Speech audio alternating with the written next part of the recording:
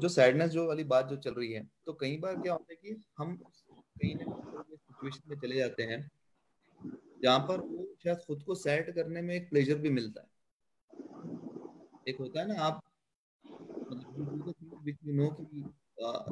मतलब जिससे आपको सैडनेस बढ़ी but they keep doing that out of you know depression बोलो या आउट ऑफ़ द सिचुएशन नहीं, वो आइसोलेशन जब कभी कभी सिचुएशन ओवरवेलमिंग हो जाती है या आउट ऑफ़ कंट्रोल हो जाती है तो कभी कभी कुछ लोग जो है अपने आप को आइसोलेट कर कर लेते हैं और एक नई बिगनिंग के लिए नई एनर्जी के साथ आते हैं। वो एक अलग चीज़ होगी that can not be classified as a depression depression के लिए ये सिम्टम जो मैंने आपको बताए हैं कि लो मूड मतलब उदास रहना लैक ऑफ़ इंटरेस्ट मतलब इंटरेस्ट चले जाना और एनर्जी लेवल एनर्जी लेवल्स बहुत डाउन हो जाना।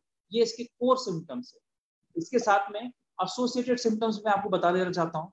एसोसिएटेड सिम्टम्स जो डिप्रेशन के होते हैं वो है नींद के अंदर फ़र्क खाने पीने के अंदर फ़र्क और आ, अपने मूड चेंजेस ये तीन।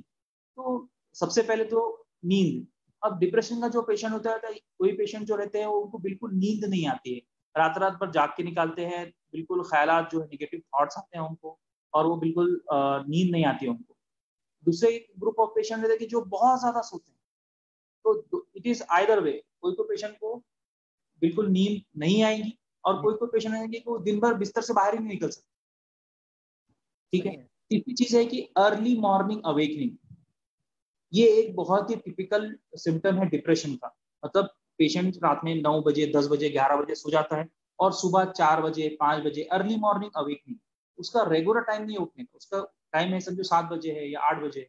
लेकिन क्योंकि डिप्रेशन के वजह से स्लीप साइकिल चेंज हो गई है इसके ब्रेन के अंदर केमिकल्स बदल गए हैं तो वो थोड़ा सा जल्दी वन आवर टू आवर जल्दी उठ जाता है। जिसको हम अर्ली मॉर्निंग अवेकनिंग बोलते हैं। और मुझे आपको बता बता बताने में तो वो भी हो रहा है कि यही टाइम रहता है कि मैक्सिमम सुसाइड्स होते हैं। जो सीवियर डिप्रेशन के पेशेंट होते हैं, उनकी maximum time of suicide early morning होते हैं। अराउंड फोर टू सेवन ओ के बीच में। जब वो उठते हैं अपने नॉर्मल रूटीन से दो तीन घंटे पहले उठ जाते पूरा घर सोते हुए रहता। और सुसाइडल थॉट्स आते हैं और वो टाइम पे सबसे ज़्यादा चांसेस रहते हैं सुसाइड के। तो ये हो गई डिप्रेशन और नींद की बात। दूसरी है बात खाने की बात फ़ूड फ़ूड इनटेक बहुत सारे पेशेंट डिप्रेशन के ऐसे होते हैं कि वो बिल्कुल उनका लैक ऑफ़ एपेटाइट हो जाता है, बिल्कुल खाना बंद कर देते हैं। बिल्कुल, क्योंकि इंटरेस्ट खत्म हो जाता तो ये चीज़ खाने से अपने को मज़ा आएगा, अपने टेस्ट बर्ड्स को अच्छा लगेगा, ये फीलिंग खत्म हो जाती है पेशेंट के अंदर। तो पेशेंट का खाना ड्रास्टिकली बहुत कम हो जाता है। कुछ कुछ पेशेंट्स ऐसे होते हैं कि जिनका खाना बहुत ज़्यादा बढ़ जाता है, लेकिन वो बहुत कम पेशेंट्स रहते हैं। ज़्यादातर पेशेंट्स के अंदर जो है, खाने के अंदर कमी हो जाती है लैक ऑफ़ एपेटाइट हो जाती है।